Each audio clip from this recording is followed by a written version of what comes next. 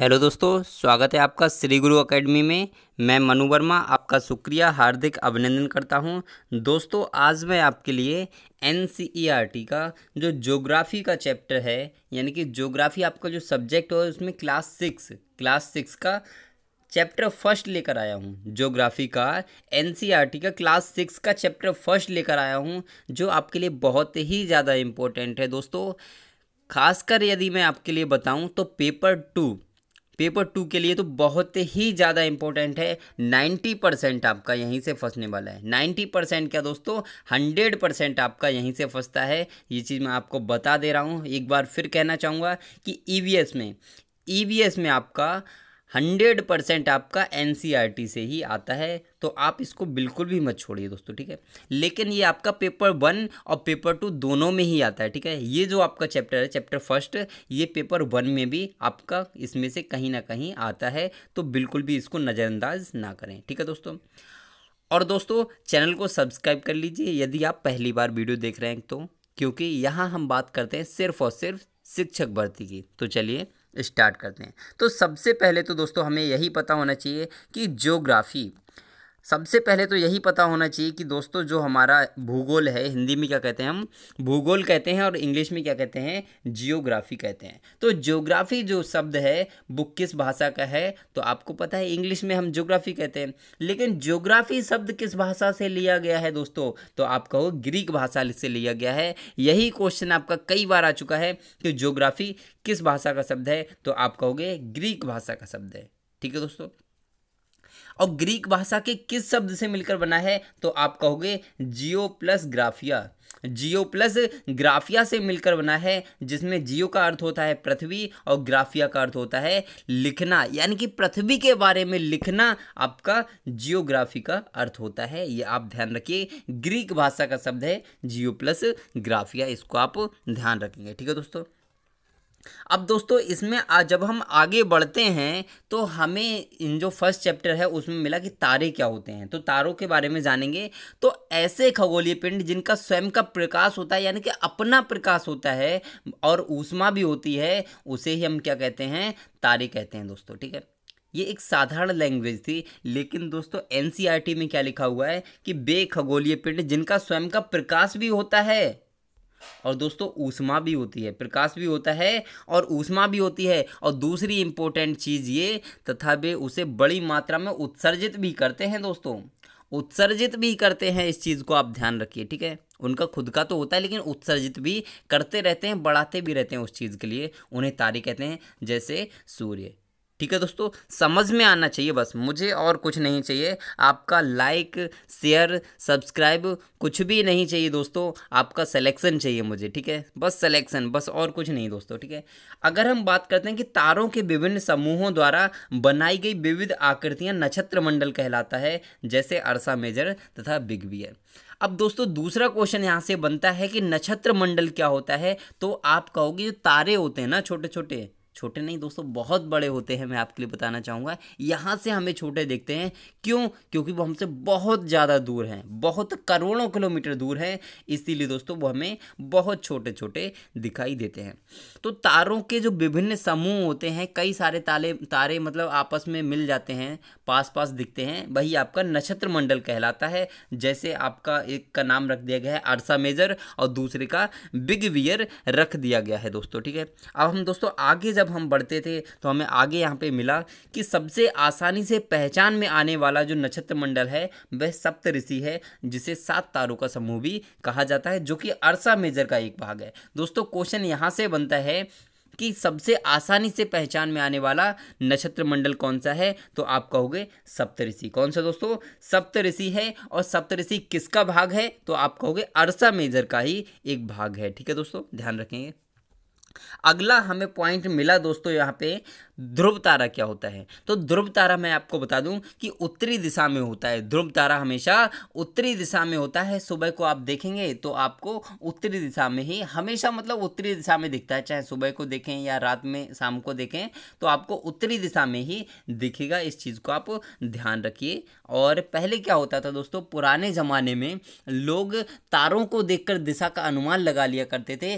क्योंकि सभी तारों की एक निश्चित दिशा होती है, मैं आपको बता दूँ। जैसे हमारा ध्रुव तारा है तो ध्रुव तारा देख लेंगे हम किस दिशा में होता है। वो उत्तर दिशा में ही होता है, हमेशा स्थिर रहता है दोस्तों। तो पहले के जो लोग थे, वो दिशा का जो अनुमान लगाते थे, वो तारों को देखकर ही लगाते थे। अब एक इम्पोर्टेंट क्वेश्चन यहाँ से ये बनता है कि ध्रुव तारे की जो पहचान कर सकते हैं हम, किसकी सहायता से कर सकते हैं? तो आप कहोगे, सप्तऋषि तारे जो हैं, उनकी सहायता से हम ध्रुव तारे की पहचान कर सकते हैं। कैसे कर सकते हैं दोस्तों? यहाँ पे इस चित्र के माध्यम से देख लेंगे दोस्तों, ठीक है? अब दोस्तों, यहाँ पर अगर हम देखें दोस्तों तो यहाँ पर आप देख रहे होंगे, ये जो आपको तारे दिख रहे हैं, एक ये है, दो, तीन, चार, पाँच, छः, सात। ये जो सात तारे आपको दिख गए, यही आपके क्या हैं? यही आपके सप्तऋषि तारे हैं। यही आपके सप्तऋषि तारे हैं दोस्तों। और यहाँ से यदि हम सीधा देखते हैं तो ये आपका ध्रुव तारा मिलता है। तो ध्यान रखना है कि सप्तऋषि तारे के ये ये जो दो तारे हैं, ये जो दो तारे हैं, उसके बिल्कुल सीध में यदि हम देखेंगे, सामने देखेंगे तो हमें ध्रुव तारा मिलता है। ये चीज़ आप ध्यान रखेंगे, उत्तर दिशा में होता है। ठीक है दोस्तों, अब चलते हैं आगे। अब आगे चलते हैं दोस्तों, हमें मिलता है ग्रह क्या होते हैं। ग्रह क्या होते हैं तो आप सभी लोग इसको जानते भी होंगे कि बेखगोलीय पिंड, जिनका स्वयं का प्रकाश नहीं होता है, तथा वे तारों के प्रकाश से ही प्रकाशित होते हैं, ग्रह कहलाते हैं दोस्तों। इसको आप ध्यान रखेंगे कि ग्रह कहलाते हैं, ठीक है? नेक्स्ट हम बात करते हैं कि प्लैनेट जो ग्रह है, ग्रह को इंग्लिश में क्या कहते हैं? तो प्लैनेट कहते हैं, आप सभी लोग भली भांति जानते हैं, लेकिन जो प्लानिट शब्द है, उसकी उत्पत्ति किस भाषा से हुई है? तो आप कहो ग्रीक भाषा के हुई है। और ग्रीक भाषा के किस शब्द से हुई है? तो आप कहोगे प्लेनेटाई से हुई है प्लेनेटाई से हुई है। प्लेनेट शब्द की उत्पत्ति ग्रीक भाषा के शब्द प्लेनेटाई से हुई है, जिसका अर्थ है परिभ्रमक, अर्थात चारों ओर घूमने वाला। यानी कि चारों ओर घूमने वाला आपका प्लेनेट कहलाता है दोस्तों। इसको आप ध्यान रखें क्वेश्चन आपके कई यहाँ पे बनते हैं। पहला क्वेश्चन प्लेनेट किस भाषा का शब्द है? तो आप कहो ग्रीक भाषा का। ग्रीक भाषा के किस शब्द से इसकी उत्पत्ति हुई है? तो आप कहोगे प्लेनेट आई से हुई है। दूसरा क्वेश्चन आता है कि प्लेनेट आई का अर्थ क्या है? तो आप कहोगे परिभ्रमक, अर्थात चारों ओर घूमने वाला दोस्तों, ठीक है? अब दोस्तों यहाँ पर बात करते हैं पृथ्वी के जो ग्रह हैं। सॉरी जो ग्रह हैं वो कितने हैं? तो ग्रह आप कहोगे आठ ग्रह हैं। कुल कितने हैं? आठ ग्रह हैं। क्वेश्चन यहाँ से बेटा इसी मतलब इसी में कन्फ्यूज़न पैदा कर देता है। किस टाइप से? कि मतलब पृथ्वी के समान कितने ग्रह हैं? पृथ्वी के समान और कितने ग्रह हैं? तो बच्चे कन्फ्यूज़ हो जाते हैं और वहाँ पे आठ लगाते, लगा देते हैं, जबकि वो एकदम से गलत हो जाता है दोस्तों, ठीक है? तो अगर पूछा जाए क्वेश्चन में कि पृथ्वी के समान और ग्रह कितने हैं तो आप कहोगे सात हैं। क्योंकि दोस्तों? एक तो पृथ्वी ही हो गई और सात और हो गए तो आठ हो गए। यहीं पे कन्फ्यूज़न कर, पैदा कर देता है आपके अंदर बस। चीज़ भी वही रहती है, ठीक है? और कुल पूछे गए पृथ्वी मतलब ग्रह कितने तो आप कहोगे आठ होते हैं। कौन कौन से? तो बुद्ध शुक्र, पृथ्वी, मंगल, बृहस्पति, शनि, अरुण, वरुण। दोस्तों, आप इनके इंग्लिश नेम भी याद कर लीजिए, क्योंकि कभी कभी आपको इंग्लिश नेम दे दिया जाता है। हम क्या कहते हैं इंग्लिश नेम में? तो Mercury Venus Earth, Mars, Jupiter, Saturn, Uranus और नेपच्यून, इनके आप इंग्लिश नेम भी याद कर लीजिए। ये बहुत इंपॉर्टेंट है, क्योंकि यहाँ से भी क्वेश्चन आ जाता है दोस्तों, ठीक है? अब हम दोस्तों इनकी ज़रा बात कर लेते हैं। यहाँ पे मैंने विस्तृत तरीके से इसको लिया हुआ है। ठीक से दोस्तों बिल्कुल कंसनट्रेट के साथ इसको समझेंगे। ठीक है दोस्तों? बिल्कुल भी वीडियो को स्किप मत करिए क्योंकि यहाँ से आपके क्वेश्चन हंड्रेड परसेंट बनते ही बनते हैं। ठीक है? तो सबसे पहले आप देख रहे होंगे ये आपका सूर्य है। ये बुद्ध है ये शुक्र है ये पृथ्वी है ये मंगल है। सॉरी कहीं मिस्टेक हो गई क्या? आ, इसमें थोड़ा सा मुझे लगता है हाँ पृथ्वी ये है दोस्तों बुद्ध ये बुद्ध है, ये शुक्र, ये पृथ्वी, ये मंगल, ये बृहस्पति, ये शनि, ये अरुण और ये वरुण दोस्तों, आपके ये आठ ग्रह होते हैं। अब दोस्तों क्वेश्चन आपसे यहीं से पूछा जाए कि पृथ्वी मतलब सूर्य के सबसे पास ग्रह कौन सा है? तो आपको सबसे पास कौन सा दिख रहा है? तो दोस्तों बुद्ध दिख रहा है, जिसे क्या कहते हैं इंग्लिश में, मरकरी कहते हैं दोस्तों, ठीक है? दूसरा क्वेश्चन ये बनेगा, पृथ्वी से सबसे दूर ग्रह कौन सा है? पृथ्वी से सॉरी पृथ्वी से नहीं, सूर्य से सबसे दूर ग्रह कौन सा है? तो आप कहोगे, कौन सा है दोस्तों? नेपच्यून है, जिसे हम क्या बोलते हैं? वरुण बोलते हैं दोस्तों। आप इसको ध्यान रखेंगे, ठीक है? नेक्स्ट क्वेश्चन यहाँ से ये बनता है कि पृथ्वी के सबसे नज़दीक ग्रह कौन सा है? तो आप क्या कहोगे दोस्तों? आप कहोगे दोस्तों क्या है? तो आप कहोगे शुक्र है दोस्तों। पृथ्वी के सबसे नज़दीक ग्रह पूछा जाएगा तो आप कहोगे शुक्र है। क्वेश्चन कई प्रकार से बनता है यहाँ से। मैं आपके लिए सारे क्वेश्चन बताऊँगा। और अगला क्वेश्चन आता है कि ऐसे कौन से ग्रह हैं? जिनके चारों ओर बलय पाया जाता है तो आप याद रखोगे, पहला तो शनि है, आप सभी लोगों के लिए पता होगा। दूसरा मैं आपको बता दूँ कि जो बृहस्पति है, उसके चारों ओर भी बलय पाए जाते हैं, लेकिन यदि ऑप्शन में शनि दिया हुआ है तो आप बृहस्पति को नहीं लगाएँगे। यदि शनि नहीं है तो बृहस्पति को लगाएँगे, और मैं आपको बता दूँ कि वरुण के चारों ओर भी आपका जो छल्ला पाया जाता है, आप इस चीज़ को ध्यान रखेंगे दोस्तों, ठीक है? सेशन थोड़ा बड़ा हो सकता है दोस्तों, लेकिन आपको टेंशन नहीं लेना, क्योंकि आपके क्वेश्चन यहाँ से बन रहे हैं। बहुत ही इंपॉर्टेंट टॉपिक है। तो आप बोर मत होइए। मैं आपको बोर होने भी नहीं दूँगा फ़िलहाल। तो आप कंसनट्रेट करके वीडियो देखिए, ठीक है? अगला क्वेश्चन यहीं से बनेगा। सबसे छोटा ग्रह कौन सा है? तो आपको सबसे छोटा कौन सा दिख रहा है? आप हंड्रेड परसेंट कह दो भाई, बुद्ध दिख रहा है यार, काहे की टेंशन है? सबसे छोटा ग्रह बुद्ध है दोस्तों, और सबसे बड़ा कौन सा दिख रहा है? तो आपको दिख रहा होगा बृहस्पति सबसे बड़ा है। सीधी सी बात है। आपको इतने सारे क्वेश्चन यहाँ से कवर हो गए। अगला क्वेश्चन होता है कि सबसे मतलब नीला ग्रह कौन सा है? तो आप कहोगे पृथ्वी है, नीला ग्रह, पृथ्वी है दोस्तों, और हरा ग्रह कौन सा है? तो आप कहोगे वरुण, आपका हरा ग्रह हो जाता है दोस्तों, ठीक है? पीला ग्रह कौन सा है तो आप कहोगे पीला ग्रह कौन सा है दोस्तों तो आप कहोगे शुक्र है, और लाल ग्रह कौन सा है तो आप कहोगे मंगल है। इन सारी चीज़ों को आप नोट करते चलिए दोस्तों। बहुत सारे क्वेश्चंस मैं यहाँ से कवर करा रहा हूँ, यदि आप ध्यान से पढ़ रहे होंगे तो नोट करते हुए चलिए दोस्तों, ठीक है? बहुत ही इंपॉर्टेंट है नोट करना, ठीक है?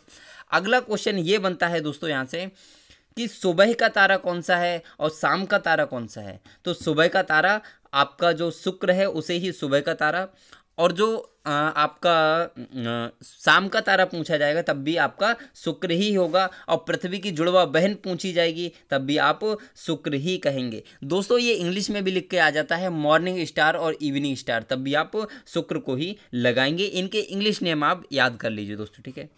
आप इंग्लिश नेम याद कर लीजिए दोस्तों, बहुत ही इंपॉर्टेंट है। अगला क्वेश्चन ये बनता है कि सबसे गर्म ग्रह कौन सा है? तब भी आप शुक्र को लगाएँगे कि सबसे गर्म ग्रह कौन सा है। शुक्र है दोस्तों, और सबसे ठंडा ग्रह कौन सा है? तो जो सबसे दूर हो जाएगा दोस्तों, वही सबसे ठंडा हो जाएगा, यानी कि वरुण, यानी कि नेपच्यून सबसे ठंडा ग्रह हो जाएगा। ये आप ध्यान रखिए दोस्तों, ठीक है?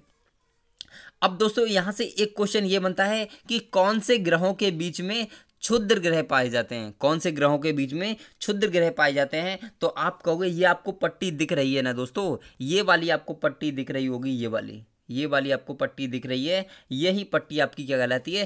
क्षुद्र ग्रह कहलाती है, यानी कि इन्हीं के बीच में क्षुद्र ग्रह पाए जाते हैं। तो कौन कौन सा ग्रह के बीच में? बृहस्पति और मंगल। बृहस्पति और मंगल ग्रहों के बीच में क्षुद्र ग्रह पाए जाते हैं। दोस्तों, यदि आपने कंसनट्रेट के साथ पढ़ा होगा ना तो कम से कम यहाँ से मैंने आपके लिए पच्चीस से तीस क्वेश्चन बना दिए और यहाँ से क्वेश्चन हर बार आता है दोस्तों। हर बार क्वेश्चन आता है तो इसको अच्छे से कंसनट्रेट के साथ देखिए दोस्तों, ठीक है? अब बढ़ते हैं आगे। आगे जब हम बढ़ते हैं तो हमें एन e में मिलता है कि सौरमंडल क्या होता है दोस्तों? सौरमंडल क्या होता है तो यहाँ पर हम देख लेंगे कि सूर्य अभी तक हमने क्या पढ़ा था अपने जीवन में कि सूर्य और जितने ग्रह हैं, उन सबको मिलाकर क्या बन जाता है? सौरमंडल लेकिन ऐसा नहीं है दोस्तों। सूर्य ग्रह, उपग्रह तथा कुछ अन्य खगोलीय पिंड मिलकर ही उपग्रह सॉरी सौरमंडल का निर्माण कहते हैं और कुछ अन्य में कौन कौन आ जाता है? क्षुद्र ग्रह आ जाते हैं, उल्का पिंड आ जाते हैं। क्षुद्र ग्रह, उल्का पिंड, इनको मैं अभी आपको समझा दूँगा बिल्कुल अच्छे से, ठीक है? नेक्स्ट हम बात करते हैं कि यहाँ पर थोड़ा सा देख लेते हैं इनके लिए थोड़ा सा एक बार फिर से अच्छे से हाँ। दोस्तों, यहाँ पे यदि हम देखते हैं तो वही है सेम कंडीशन आपको कुछ चीज़ें इसमें समझनी होंगी। जैसे आप यहाँ पर देख सकते हैं, बलय आपको दिखा रहा था ना मैं। तो इसमें भी बलय पाए जाते हैं, शनि में भी। बृहस्पति में भी बलय पाए जाते हैं, नेपच्यून यानी कि वरुण में भी बलय पाए जाते हैं, और आपका अरुण में भी बलय पाए जाते हैं। कहने का तात्पर्य ये है कि आपके चार ग्रह हैं, यानी कि जो आउटर प्लानिट होते हैं, बाह्य प्लानिट हैं, बाह्य ग्रह जो हैं, उन सभी में आपके बलय पाए जाते हैं। लेकिन दोस्तों क्वेश्चन यहाँ पर आकर फंसता है कि यदि यदि क्वेश्चन में आपका ऑप्शन में आपका शनि दिया हुआ है तो सबसे पहले आपको शनि लगाना है अदरवाइज़ को छोड़ देना है सभी को। अगर ऑप्शन में शनि नहीं है तो आपको बृहस्पति दिखता है तो बृहस्पति को टिक कर देंगे। नेपच्यून दिखता है, उसको टिक कर देंगे। यूरेनस दिखता है, उसको भी आप टिक कर देंगे, ठीक है? तो चार ग्रह होते हैं, जिनके चारों ओर बलय पाए जाते हैं, छल्ले पाए जाते हैं, ये आप ध्यान रखेंगे दोस्तों, ठीक है? बहुत ही इंपॉर्टेंट है दोस्तों ध्यान रखना है इसके लिए। बहुत अच्छे से ध्यान रखना है ठीक है? मुझे सिलेक्शन चाहिए इस बार आपका हंड्रेड परसेंट अगला क्वेश्चन ये आता है दोस्तों यहीं से कि सबसे आ, सबसे ज़्यादा उपग्रह किसके हैं ठीक है? सबसे ज़्यादा उपग्रह किसके हैं? तो आपका वो बृहस्पति के हैं। लेकिन दोस्तों मैं आपके लिए बताना चाहूँगा कि बृहस्पति के सबसे ज़्यादा उपग्रह नहीं हैं। बृहस्पति के सबसे ज़्यादा उपग्रह नहीं हैं। आज की डेट में सबसे ज़्यादा उपग्रह शनि के हो चुके हैं दोस्तों। शनि के उपग्रह बृहस्पति से ज़्यादा हो चुके हैं, इस चीज़ को आप ध्यान रखिए। क्वेश्चन यहाँ पे एक ये को, ये आता है कि पृथ्वी के कितने उपग्रह हैं तो आपको पृथ्वी का एक ही उपग्रह है, जिसका क्या नाम है? चंद्रमा। आपके चंदा मामा। ठीक है? आप ध्यान रखेंगे। अगला क्वेश्चन ये आता है कि ऐसे कौन से ग्रह हैं जिनका कोई भी उपग्रह नहीं है? तो पृथ्वी के पास में जो दो ग्रह हैं उनका कोई भी उपग्रह नहीं है। यानी कि एक आपका बुद्ध का कोई उपग्रह नहीं है एक शुक्र का कोई उपग्रह नहीं है। इसको आप ध्यान रखेंगे दोस्तों ठीक है? इससे ज़्यादा आपसे क्वेश्चन नहीं पूछा जाएगा। और एक क्वेश्चन ये भी आता है प्लूटो। प्लूटो को कब से ग्रह की श्रेणी में आ, मना कर दिया कि अब ये ग्रह नहीं है? तो आप ध्यान रखो 2006 से प्लूटो को मना कर दिया गया कि ये अब ग्रह की श्रेणी में नहीं आता है दोस्तों।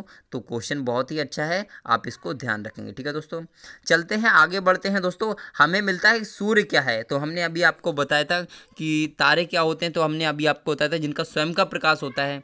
यानी कि जो दूसरों को प्रकाश उत्पन्न उपलब्ध कराते हैं भैया आपके तारे कहलाते हैं। तो सूर्य भी क्या है? एक तारा है जो संपूर्ण सौर मंडल को सूर्य सॉरी ऊष्मा एवं प्रकाश उपलब्ध कराता है। आपने देखा होगा कि हमारी पृथ्वी पे क्या आ, हमारे पास जो पृथ्वी है तो पृथ्वी में सनलाइट है? तो आपको नहीं है? रोशनी नहीं है दोस्तों। जब तक सूर्य नहीं निकलता है, क्या हमारे यहाँ रोशनी होती है? तो आपको नहीं होती भाई, बिल्कुल नहीं होती। तो आप इस चीज़ को भली भांति समझ लीजिए कि सूर्य एक तारा है और सूर्य से ही हमें क्या मिलता है? रोशनी मिलती है, यानी कि प्रकाश मिलता है, ऊष्मा मिलती है दोस्तों। ध्यान रखेंगे एक इम्पोर्टेंट क्वेश्चन ये आ जाता है दोस्तों कि सूर्य की पृथ्वी से दूरी कितनी है? तो आप कहोगे पंद्रह करोड़ किलोमीटर। कई मरतबा ये क्वेश्चन आ चुका है कि सूर्य की पृथ्वी से दूरी कितनी है? तो आप कहोगे लगभग पंद्रह करोड़ किलोमीटर। लगभग पंद्रह करोड़ किलोमीटर दूरी है दोस्तों।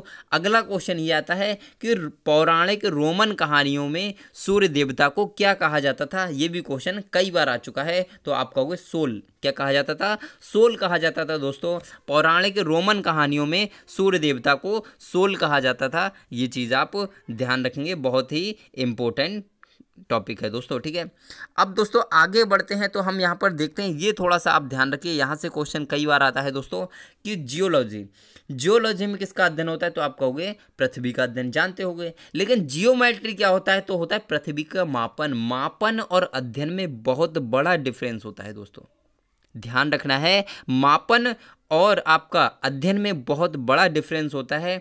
और यहाँ पर अगला हम देखते हैं जियो आइड जियो आइड क्या होता है? तो पृथ्वी के आकार के अनुरूप यानी कि पृथ्वी का जो आकार है उसके अनुरूप अगर हम चलते हैं देखते हैं तो उसे हम क्या कहते हैं दोस्तों? जियो आइड कहते हैं। जैसे पृथ्वी का आकार का यदि हमें कोई आ, कोई अन्य अगर पिंड दिखाई देता है तो हम उसे जियो आइड बोल सकते हैं दोस्तों। तो यहाँ से इन क्वेश्चंस को बहुत अच्छे से ध्यान रखना है कि जियोलॉजी क्या होता है तो आपको वो पृथ्वी का अध्ययन। पृथ्वी का अध्ययन जो आपका है, वो जियोलॉजी कहलाता है। और जियोमेट्री क्या होता है तो आपका वो पृथ्वी का मापन होता है दोस्तों। जियोआइड क्या होता है तो आपका वो पृथ्वी के आकार के अनुरूप होता है दोस्तों, ठीक है? आप चलते हैं थोड़ा सा आगे, ठीक है? अब यहाँ पर देखते हैं दोस्तों, खगो, यहाँ पर थोड़ा सा एक चीज़ आप ध्यान रखिए दोस्तों, मैं आपको बताना चाहूँगा। आपने देखा भी होगा कि ये जो चैप्टर है ना, बहुत ही इंपॉर्टेंट चैप्टर है और बहुत ही बड़ा चैप्टर था दोस्तों। मैंने आपके लिए इसमें सारे इंपॉर्टेंट पॉइंट्स लिए हुए हैं। यहाँ से आपका एक भी क्वेश्चन बाहर नहीं जाएगा। दोस्तों, इस एक चैप्टर को कराने के लिए आप पूरे यूट्यूब पर दोस्तों वीडियो खोज लीजिए, किसी का भी वीडियो देख लीजिए, गारंटी दे रहा हूँ, एक घंटा, कम से कम एक घंटा आपका बर्बाद कर देगा वो, ठीक है? लेकिन मैं आपके लिए 20 से 25 मिनट में ही कवर करा दूँगा, गारंटी देता हूँ। आप बस बने रहिए दोस्तों, ठीक है? आपको जाना नहीं है बस यहाँ से, ठीक है? अच्छा लगे तो लाइक, शेयर, सब्सक्राइब बनता है दोस्तों, ठीक है? बस मस्त रहिए, खुश रहिए, मुझे कुछ नहीं चाहिए दोस्तों, बस मस्त रहिए, आप तैयारी करते रहिए, ठीक है? अब दोस्तों बात करते हैं कि खगोलीय पिंडों एवं उनकी गति के संबंध में अध्ययन करने वालों को खगोल शास्त्री कहते हैं। क्वेश्चन यहाँ पे ये बनता है, खगोल शास्त्री किसे कहते हैं? तो आप कहोगे खगोलीय पिंड। दोस्तों, खगोलीय पिंड क्या होते हैं? तो आकाश में आपको जो मतलब हमारा आकाश गंगा है जो हमारी आ, हमारी आकाशगंगा का नाम क्या है दोस्तों? तो मिल्की वे है। क्या नाम है दोस्तों? मिल्की वे है इसको भी आप ध्यान रखिए दोस्तों ठीक है? तो यहाँ पर यदि हम बात करते हैं कि खगोल शास्त्री होते क्या है तो खगोलीय पिंड को जानना पहले बहुत ज़रूरी है। तो हमारी आकाशगंगा में जो भी हमें दिखता है, कोई भी क्षुद्र ग्रह वगैरह, ये सारी चीज़ें इन सबको हम खगोलीय पिंड ही बोलते हैं। लेकिन उनकी कुछ अलग अलग क्वालिटीज़ होती हैं, उनकी वजह से हम ग्रह कह देते हैं, उपग्रह कह देते हैं और तारे कह देते हैं, इस तरीके से उनको कह देते हैं। जैसे तारे किसे कहते हैं तो जिनका स्वयं का प्रकाश है ऊष्मा होती है। ग्रह किसे कहते हैं, जो सूर्य के चारों ओर चक्कर लगाते हैं निश्चित पथ पर। उपग्रह क्या होते हैं, जो ग्रह के चारों ओर निश्चित पथ पर परिक्रमा करते हैं। तो इन सारी चीज़ों का मैं आपको पढ़ा ही चुका हूँ, ज़्यादा टाइम वेस्ट करने की ज़रूरत ही नहीं है। सॉरी तो यहाँ पर दोस्तों, यदि हम जानना चाहें कि खगोलीय पिंड तो आप समझ चुके होंगे क्या होता है। तो खगोलीय पिंड एवं उनकी गति के संबंध में जो अध्ययन करते हैं, जो वैज्ञानिक होते हैं, उन्हें ही हम क्या कहते हैं खगोल शास्त्री कहते हैं दोस्तों, ठीक है? अब देखिए, इतनी मेहनत कर रहा हूँ दोस्तों, आवाज़ तक बैठने लगी थोड़ी सी मतलब गला खराब हो रहा है, आप मेहनत देख सकते हैं मेरी, ठीक है? आर्यभट्ट सबसे प्राचीन भारत के प्रसिद्ध खगोल शास्त्री थे।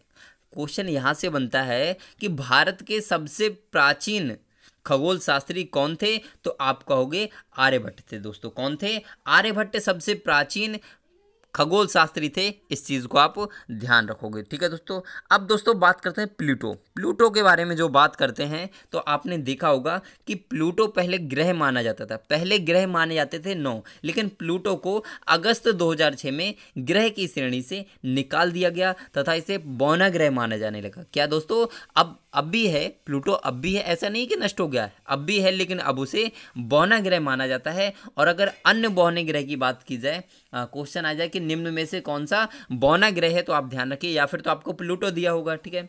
या फिर आपको ये 2003 यूवी थ्री वन थ्री इसको आप ध्यान रखेंगे कि 2003 यू वी तीन सौ तेरह ये भी एक बौना ग्रह है और आपका सिरस ये भी आपका एक बौना ग्रह माना जाता है। तो आपसे क्वेश्चन इस टाइप से पूछा जा सकता है कि निम्न में से कौन सा बौना ग्रह नहीं है दोस्तों। तो जब आपको पता होगा कि प्लूटो 2003 यू वी तीन सौ तेरह और सीरस ये बौने ग्रह हैं, जब आपको पता होगा, तभी आप क्वेश्चन को कर पाएँगे दोस्तों, ठीक है?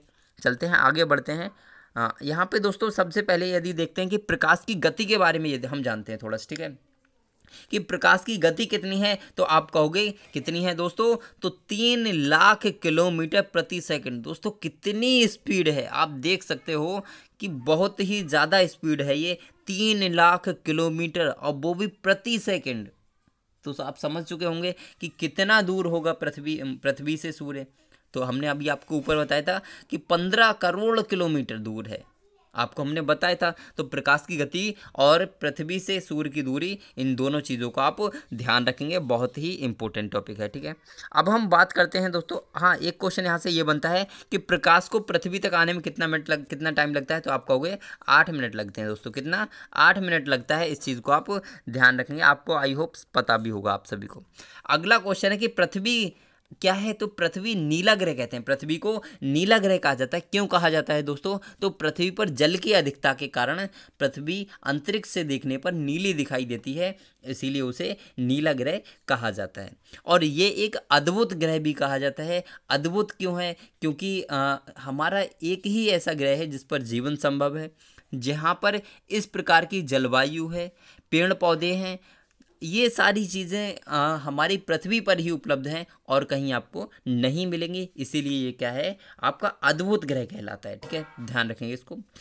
अगला क्वेश्चन ये है, पृथ्वी का उपग्रह कौन सा है? तो आपका वो चंद्रमा। कितने उपग्रह हैं पृथ्वी के? तो एक ही उपग्रह है। पृथ्वी का एक ही उपग्रह है, वो है आपका चंद्रमा। पृथ्वी से चंद्रमा की दूरी कितनी है? तो आपका वो तीन लाख चौरासी हज़ार चार सौ किलोमीटर। इन तीन क्वेश्चन को आप बहुत ही ध्यान से रखोगे कि पृथ्वी से सूर्य की दूरी, ठीक है? प्रकाश की चाल ध्यान रखेंगे और यहाँ पे ये ध्यान रखेंगे पृथ्वी से चंद्रमा की दूरी कितनी है, ठीक है? तो तीन लाख चौरासी हज़ार चार सौ किलोमीटर, ठीक है? चंद्रमा पृथ्वी का एक चक्कर सत्ताईस दिन में पूरा करता है दोस्तों। क्वेश्चन यहाँ से आता है कि जो चंद्रमा है, वो पृथ्वी का एक चक्कर कितने दिन में पूरा करता है? तो आप कहोगे कि चंद्रमा पृथ्वी का एक चक्कर सत्ताईस दिन में पूरा कर लेता है दोस्तों, ठीक है? अब हम दोस्तों एक और इम्पोर्टेंट चीज़ जानते हैं कि चंद्रमा पर जाने वाले जो प्रथम व्यक्ति थे, वो कौन थे? तो आप कहोगे नील आर्मस्ट्रॉन्ग विश्व की बात हो रही दोस्तों यहाँ पे कि विश्व में सबसे पहले चंद्रमा पर कौन गया था? तो आप कहोगे नील आर्म लेकिन दोस्तों, आपको कमेंट करके बताना ये है कि भारतीय, प्रथम भारतीय कौन थे जो सबसे पहले चंद्रमा पर गए थे दोस्तों, ठीक है? चलिए मैं आपको बता देता हूँ, आपको पता भी होगा, राकेश शर्मा जी थे जो सबसे पहले चंद्रमा पर गए थे और जो मूल रूप से भारतीय थे, ठीक है दोस्तों? अब हम दोस्तों यहाँ पे बात करते हैं उपग्रह की। उपग्रह की जब हम बात करते हैं तो उपग्रह के बारे में मैंने आपके लिए बता दिया था कि उपग्रह क्या होता है।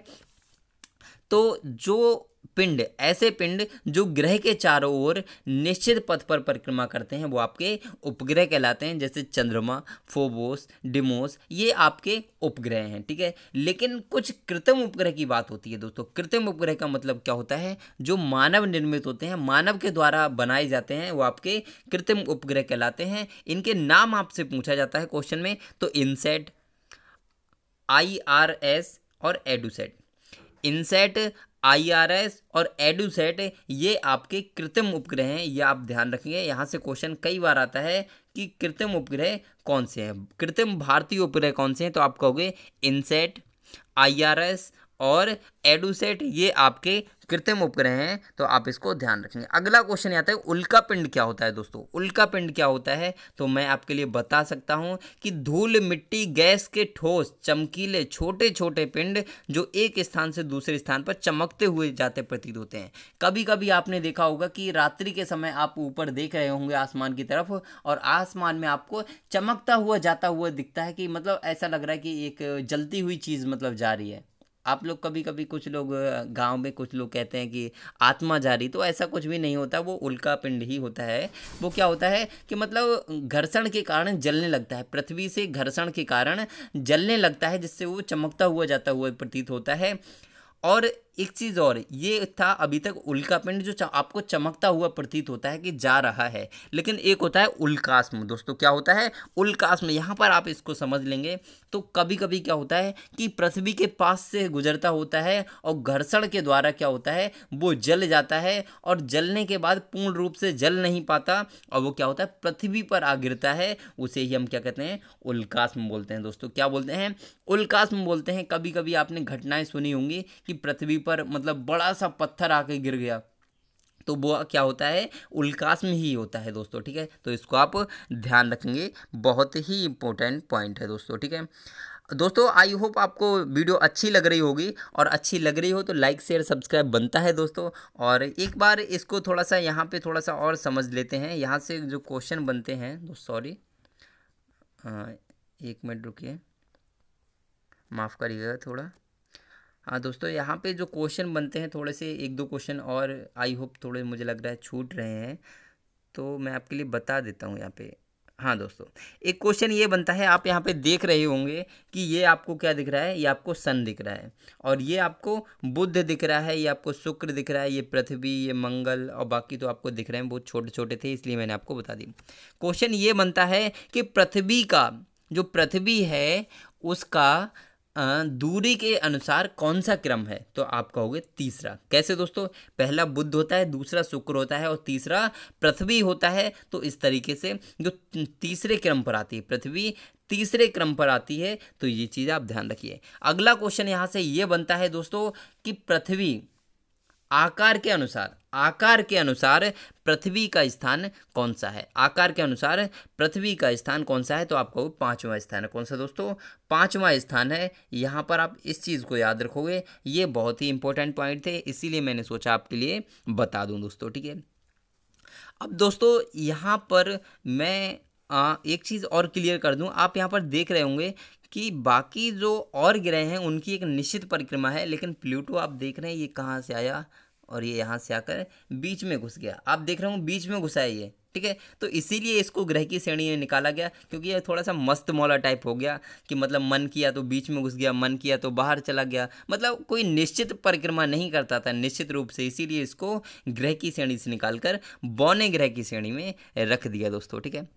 आई होप आपको सारा मैटर समझ में आया होगा। और यदि समझ में आया हो दोस्तों तो वीडियो को लाइक शेयर सब्सक्राइब बनता है दोस्तों। और अगर अच्छा लग गया हो तो सब्सक्राइब बनता है। और अपने दोस्तों से, भाई से, बहन से, आपके जितने भी लोग हैं, उनसे कहिए कि आपको अगर निश्चित सफलता चाहिए तो आप आ सकते हैं हमारे पास, श्री गुरु अकेडमी के पास, ठीक है? क्योंकि हम यहाँ पर बात करते हैं सिर्फ़ और सिर्फ़ शिक्षक भर्ती के। दोस्तों हंड्रेड परसेंट सफलता की गारंटी लेते हैं हम यहाँ पर हंड्रेड परसेंट सफलता की गारंटी लेकिन बस जितना हम कराते जाते हैं, उतना आपको करते जाना है, ये आपकी ड्यूटी है, ठीक है दोस्तों? तो दोस्तों, आज के लिए बस इतना ही। फिर मिलते हैं एक नेक्स्ट वीडियो में। ओके? जय हिंद।